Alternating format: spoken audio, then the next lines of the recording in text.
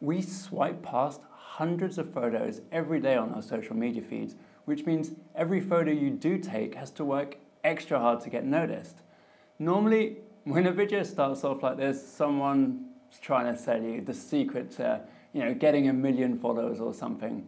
Instead of that, and well, because I have no idea how to get a million followers, I'd like to talk to you about how learning a basic visual language principle will improve your photography and, as a side benefit, boost your social media performance. Let's say you're scrolling down your Instagram feed. One of those thumbnails will succeed in pulling your attention away from all of the other thumbnails on that feed. Have a look, and as I scroll down, keep track of which one catches your attention. You should have one of those thumbnails stuck in your head now, but why did that specific image stay in your memory? What was special about it?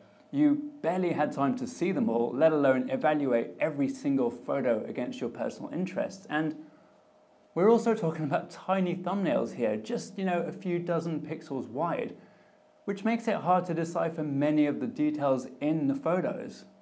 How is your mind choosing that one image? Well, your brain processes information in a progressive manner. That's similar to how some websites load up images. The website will quickly show a low-res image while the high-res one loads up in the background. And the reasoning behind both of these processes is pretty similar. It's to give an early indication to the viewer of what's happening. The low-res image that loads up is a barely recognizable reduction of itself. You can make out some fake shapes, and some differences of contrast. It's not a lot, but it's enough for your subconscious mind to evaluate the scene and, importantly, decide whether or not it needs to react to any potential threats. The reason I'm dipping so much into the science right now is to demonstrate that we see an image twice. Our subconscious first, and then later our conscious mind. And Becoming fluent in visual language gives you the ability to capitalize on both of those views. Let me give you an example using a principle called the figure-ground relationship. If we go back to that Instagram feed, my eye was drawn to this one image, a photo of a woman dancing, and I can explain why that was with visual language, and not just why that one photo stood out, but why all the others didn't. Our subconscious is constantly analyzing everything in our visual field and trying to make sense of it.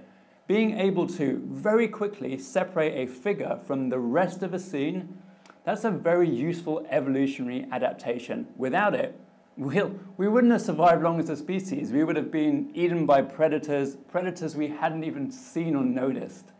And believe it or not, it's that very same instinct at work when you scroll down your Instagram feed your attention will gravitate to images that have strong figure-ground relationship, like the one of a dancer that caught my eye earlier.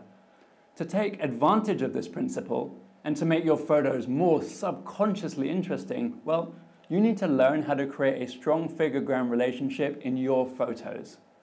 This particular image used a few techniques that achieve this figure-ground separation, techniques that are strong enough to work even within a tiny thumbnail.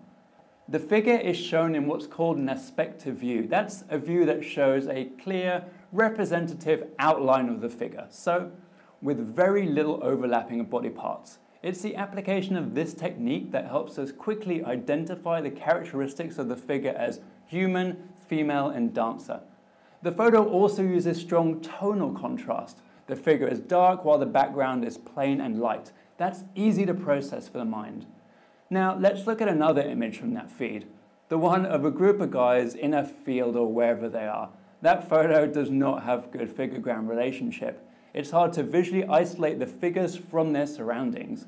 The subjects are wearing dark trousers against a dark background and their faces kind of blend into the sky. It's not clear, at least not in the thumbnail and not to me, what's going on here. My guess is that you probably hadn't even noticed this photo when we scrolled earlier and I'd be very surprised if this was the one that stuck in your mind. With this photo, your perception has nothing to latch onto, so It probably just skipped right over it to a photo with a clear, more defined figure-ground relationship. And that there is the power of figure-ground relationship. It can be the difference between your image being noticed or just being ignored. A lot of this science is fairly new, but the effects of good composition, well, they've been known for a long time and they've been capitalized on by artists for half a millennia, longer even. The old masters like Caravaggio, Rubens, they were all taught how to deliberately design their composition so that it would appeal to the subconscious.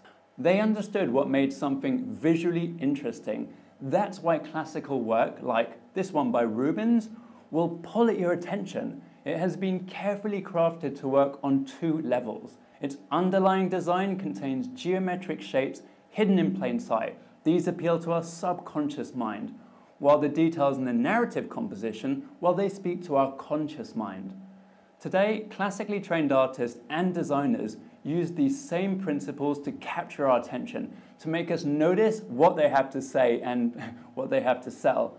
But these skills rarely get applied in the world of photography, which is a shame because, well, they work. They can help your photos stand out from the crowd, which in fact is something I hope I've just demonstrated.